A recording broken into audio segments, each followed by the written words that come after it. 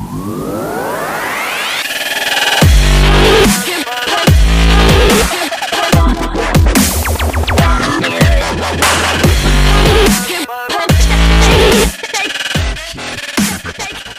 what's going on everybody? I'm Ryan Shelley.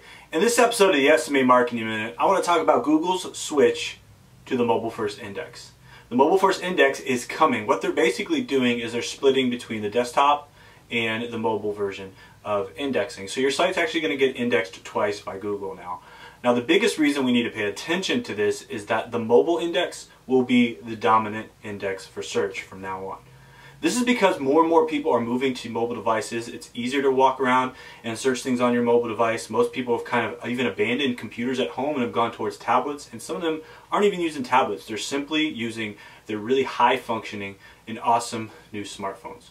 So what do you need to do as a business owner or as an SEO agency or marketing agency to get ready for the Mobile First Index? Well, in this episode, we're going to talk about five things that you can do right away to make sure that your site's ready to go.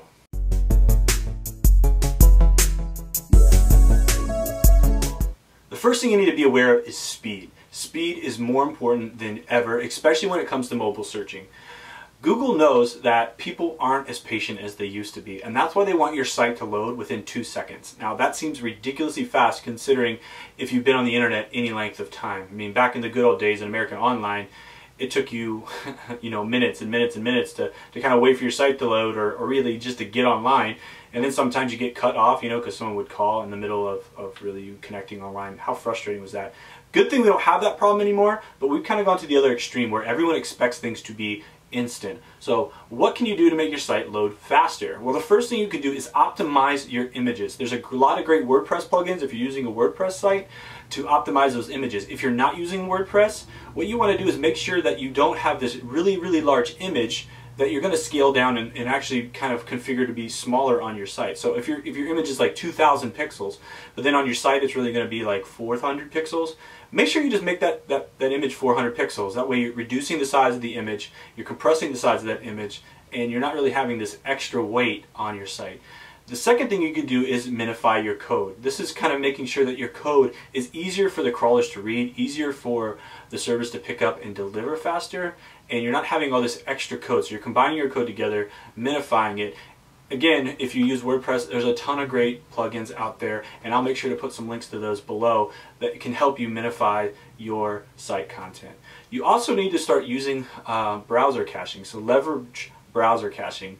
Uh, WP Fastest Cache is a really good one. W3 Total Cache is a good one. There's a number of other ones, especially if you're on a WordPress site, that will help you leverage browser cache. If you're not using a WordPress site, it's a little bit more difficult and you need to understand how to really access that htaccess file to put the appropriate uh, language in there to make sure that your site is being cached properly. What caching does is it actually loads part of your site into the browser. So when the user goes to your site and they've been on your site, it's storing browser cache. Sometimes you've seen in, you know, delete cache, delete history inside your browser. What it's doing, it's storing some of the files to your site. So when that user comes back, that site's going to load faster because it already knows a little bit about that site and has some, some information stored on it. The last thing you can do is uh, remove a lot of redirects. If your site's redirecting a lot of time, maybe you you're redirecting one page to another page, you've moved a lot of content around, those extra redirects can actually start to harm you because it's making the server work that much harder to really understand where all the content is on your site, where the new stuff is, what's the right stuff, what's the wrong stuff. So getting rid of some of those redirect redirects can really help you speed up your website.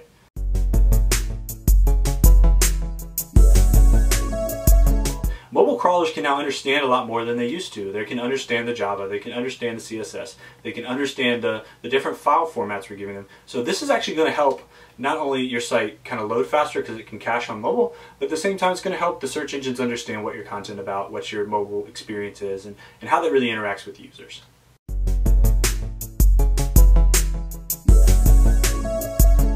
The third thing you can do is have a really good mobile design. Now, while a lot of sites have moved to responsive web design or they have a mobile site, not all mobile sites are created equal. And honestly, even some of the responsive sites, just because you have responsive coding doesn't really mean that your site looks great or works great on mobile. So make sure that your mobile experience is a really high quality experience. If you have Flash on your website, it's time to let it go. Flash takes really long to load, and it also doesn't work on a lot of mobile devices. Um, Apple really put a lot of energy in behind killing Flash when they uh, announced the iPhone, because the iPhone doesn't support Flash. Now with HTML5, and as code continues to really be reinvented because of what the internet is all about, it's going to just, Flash isn't really going to have that much of importance anymore. So get rid of it now. It's going to help your mobile experience and make sure that's consistent across all channels. The other thing you want to do is get rid of all those pop-ups. You know, sometimes a pop-up is fine, but uh, sometimes for a mobile user, it's just annoying. They're trying to get content right now, and if they get a lot of pop-ups and they've got to click out and, and use their finger to kind of push those little buttons, it's really going to annoy them have a bad experience and they're most likely going to bounce. And that really brings us to our last point is design for the finger. We don't have mouses on mobile. This is our mouse right here. This is what we're going to use, tap things, you know, and you got to make sure that it's really easy for the user to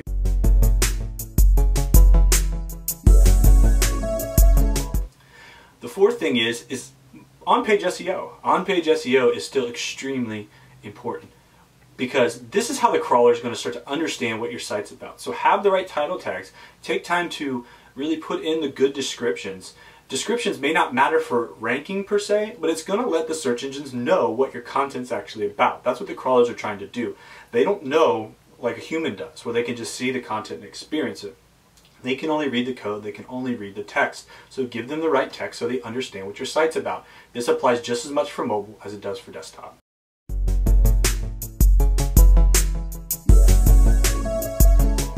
The last thing you need to do is make sure that you're optimized for local. Local search is extremely important, especially when it comes to a mobile device.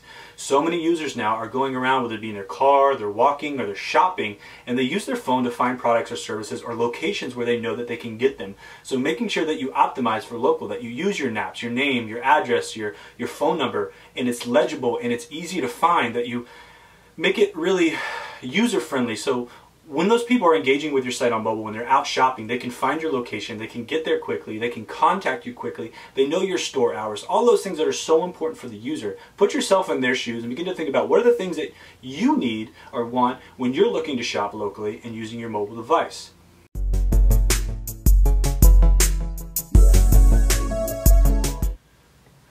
So there you have it. That's a couple things you can do to make sure your site is ready for the mobile first index. Yes, desktop's to matter. Regular search still plays a big role and a lot of people still search using their computers.